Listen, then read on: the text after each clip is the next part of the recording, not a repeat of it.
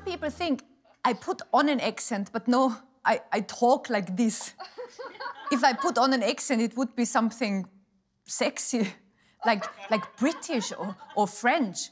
But nobody puts on a German accent by choice. there is one word that I can say and which makes me sound really British. This word is unfortunately parsnip. yeah, I know it. I can't. It's really useless. I can't really use it. What do I say? Do I say you have beautiful eyes and a lovely smile? I can't wait to see your parsnip. Although, you know, I'm I'm a lesbian. I don't want to see anyone's parsnip.